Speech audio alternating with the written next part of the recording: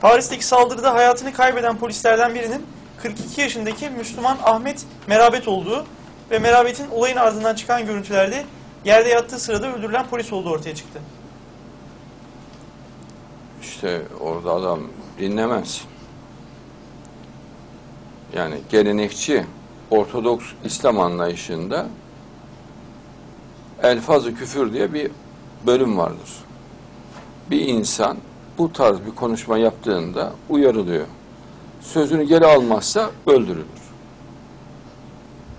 Bu kadar açık. Yani bunu inkar etmesinler. Bu Şi- Şiilikte de var. Sünnilikte de var.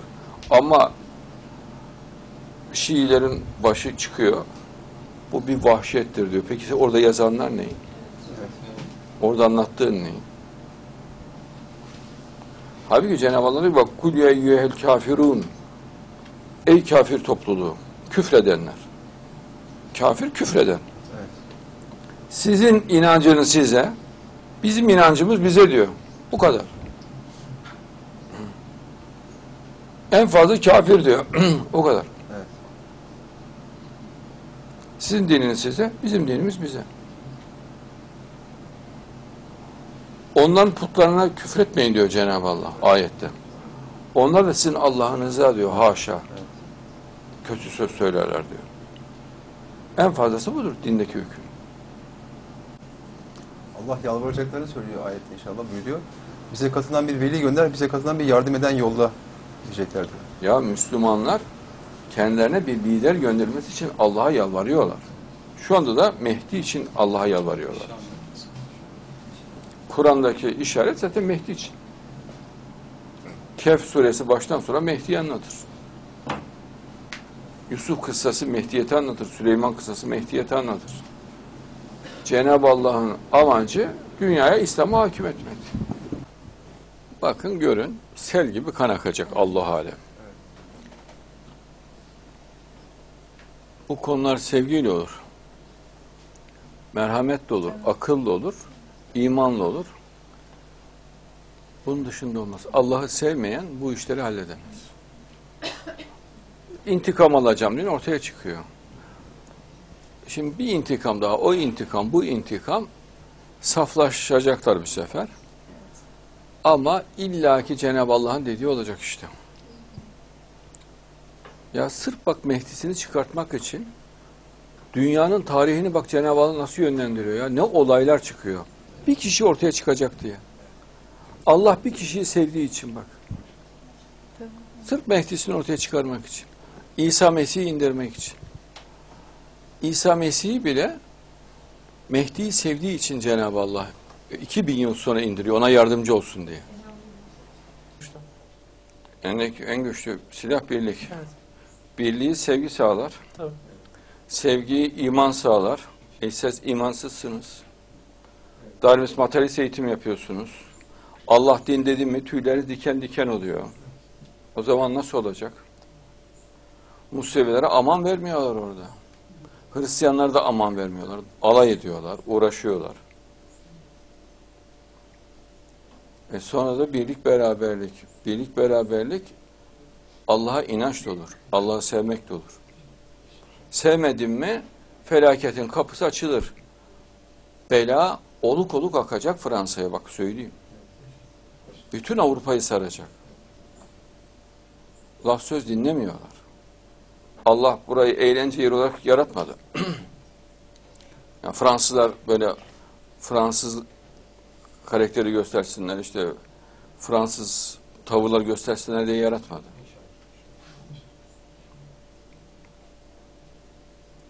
Güzel yönleri çok Fransızların, Avrupalıların çok. Yani nezaketleri. falan. Ama Allah'a inanç çok hayatidir. Allah'ı sevmek çok hayatidir. Onun için var kainat. E sen Allah'tan uzak olursan Allah rahatlık vermez. Diken üstünde oturacaklar ve sürekli ateş her tarafı saracak. Mehdi'nin zuhuruna kadar bu böyle. Ha inanmıyorlarsa olayları izlediklerinde daha iyi anlarlar dediklerim. Peygamber ne dediyse doğru sallallahu aleyhi ve sellem. En ince detayına kadar anlatmış. kan her yeri saracak. Olaylar her yeri saracak. Allah kendini sevmeyen bir kavme rahatlık vermez. Kendini seviyorsa rahatlık verir. Fransa kurtuluşu imanda arasın. Allah sevgisini, Allah korkusunda arasın. Birlik. Adam neye göre birlik olsun ya?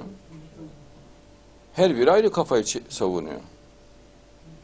Darwinist materyalist bir zihniyette sen diyorsun atan solucan diyorsun. Atan mikrop diyorsun. Orada sana adam birliğin amacını sorduğunda ne cevap vereceksin? Solucanlar birliği mi diyeceksin? Mikroplar birliği mi diyeceksin? Ne diyeceksin? Atan mikrop diyorsun. Atan solucan diyorsun. E ondan sonra gel birlik olalım diyorsun. Evet dinliyorum. Adnan Bey, e, Fransız Cumhurbaşkanı Hollande'ın konuşmasından bazı ifadeler şöyle. Irkçılık gibi akımlar kabul edilemez.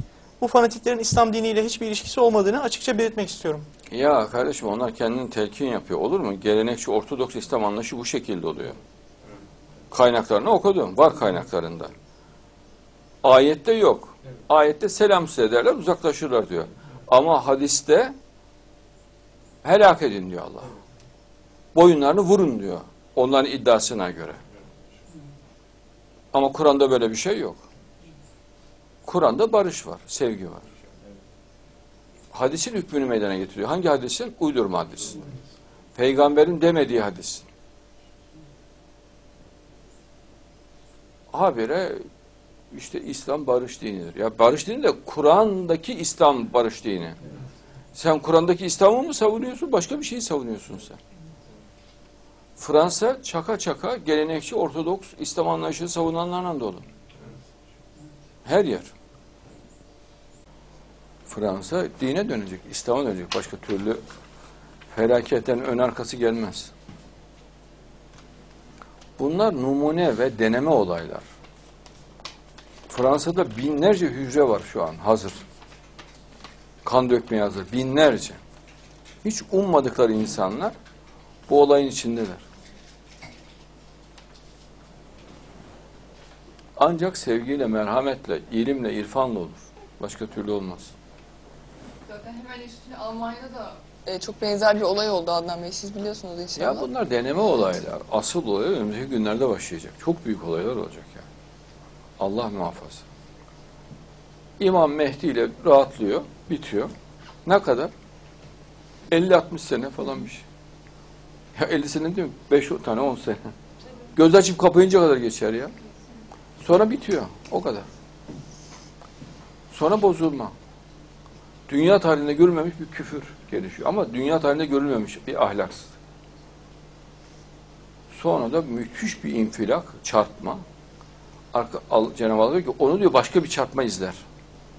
Şeytanın Allah'ın ikinci bir çarpma. Spin atıyor Allah alem. Dünyaya bir büyük gök taşı vuruyor ama yıldız ya büyük yani çok çok büyük. Vurup deliyor dünyayı. Yeniden çekim alanına girdiği için bir daha vuruyor. Darmadağın oluyor dünya. Ayetteki açıklanan şekli tam.